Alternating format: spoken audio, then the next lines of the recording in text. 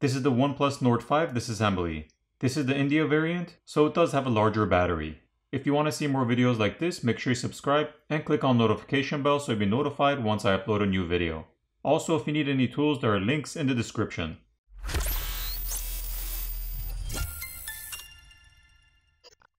First, the SIM tray needs to be removed.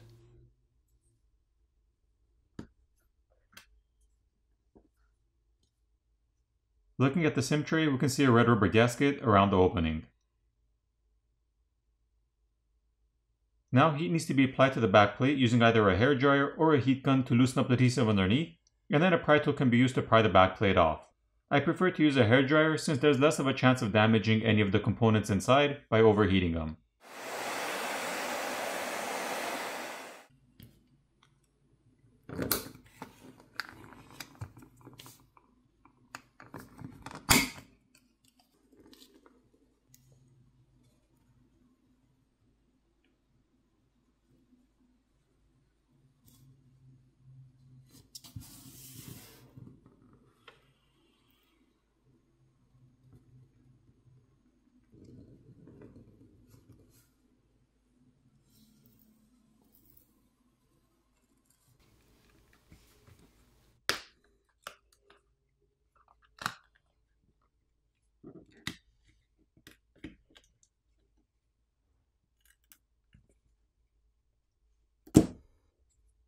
Here's a better look at the glass backplate.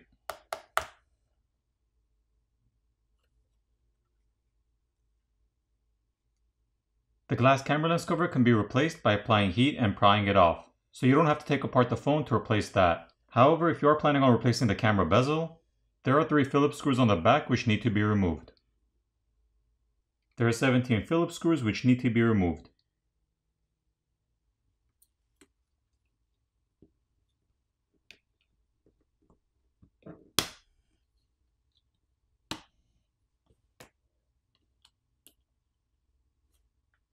Taking a look at the top plastic motherboard cover, we can see the LED flash flex cable, the NFC antenna, as well as graphite film to help transfer heat.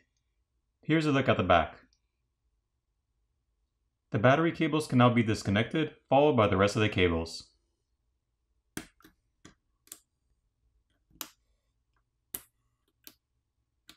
The coaxial cables can be disconnected by just popping them off.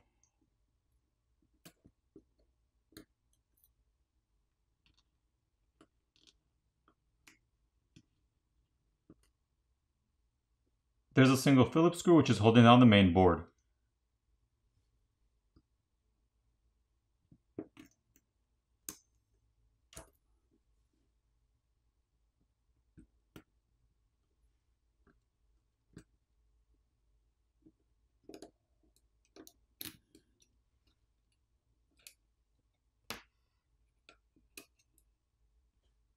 Taking a look at the main board, we see the 8 megapixel ultra wide lens, and the 50 megapixel primary camera. The main camera is the only one with OIS or optical image stabilization. There's a secondary microphone on the top corner, rubber gaskets around the connectors, as well as graphite film and copper tape over the shield to help transfer heat. Taking a look at the other side, we see the 50 megapixel front facing camera, the infrared or IR blaster, as well as additional copper tape and graphite film on the back, as well as thermal paste to help transfer heat. Once the graphite film has been peeled back, we see additional thermal paste on top of the RAM which is seated over the processor, as well as a thermal pad over the ROM or onboard storage, and this chip over here. Here's a better look with the thermal paste and thermal pad removed. To remove the battery, there is a pull pouch provided to help you pry it off.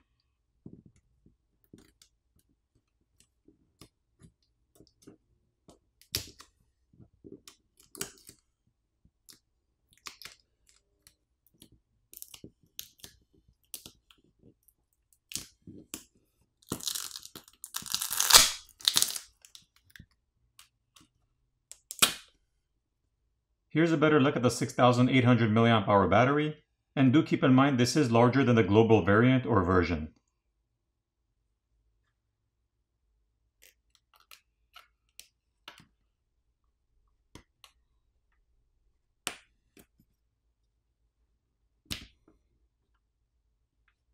Once the plastic cover over the subboard has been removed, we can see the flex cable for the screen which is attached to the side of the subboard, as well as this flex cable assembly which connects the main board to the subboard. If you needed to replace the screen, you'd have to remove the back plate.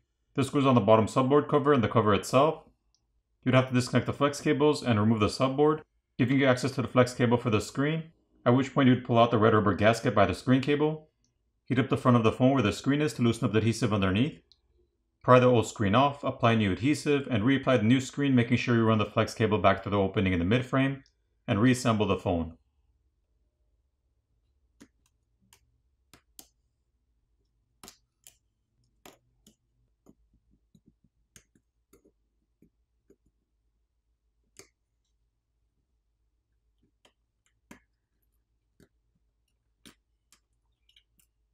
So taking a look at the subboard, we see rubber gaskets around the connectors, and these rubber gaskets help to prevent any debris or liquid from getting around the connectors, the primary microphone which is underneath this covered shield, as well as the charger port which has a red rubber gasket around it. The SIM reader is located on the other side.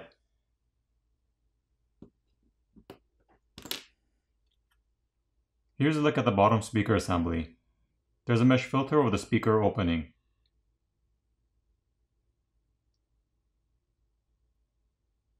The haptic feedback or vibrator motor is located here, which is held on with some adhesive, and the same goes for the fingerprint scanner located next to that. If you need to replace either of those, just apply some heat and gently pry them off.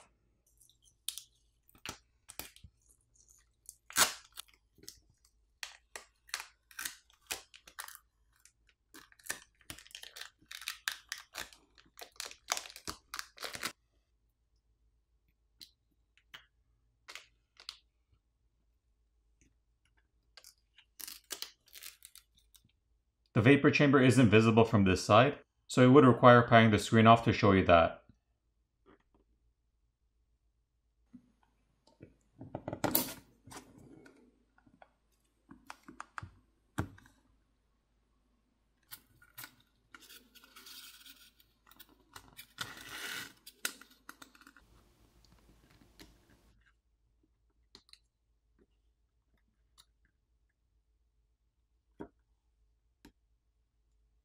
So here's a look at the back of the screen once it's been pried off.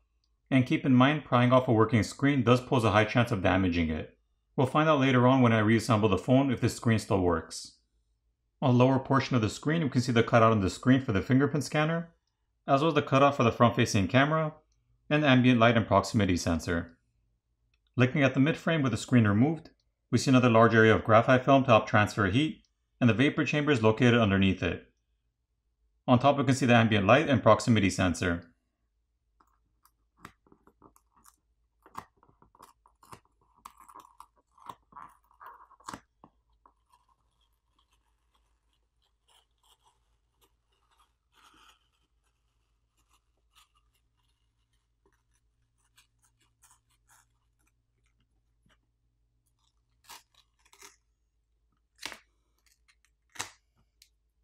And here's a better look at the massive vapor chamber with the graphite film removed.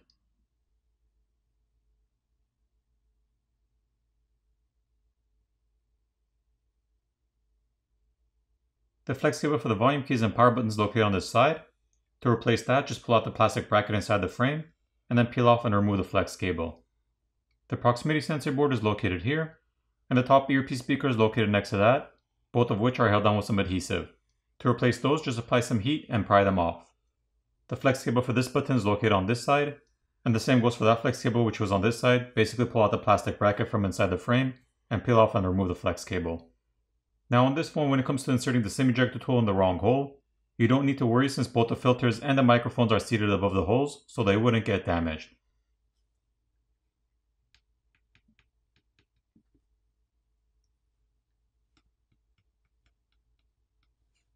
For the repairability score on this phone, I give it a 6.5 out of 10. Now it's time to put the phone back together.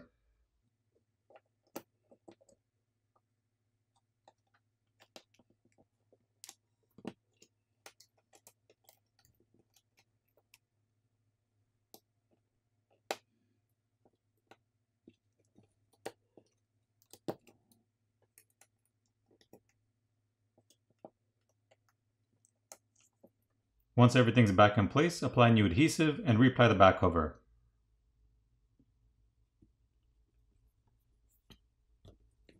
Flip over the phone, power it on, and you're done. I hope you enjoyed this video, and I'll see you in the next one.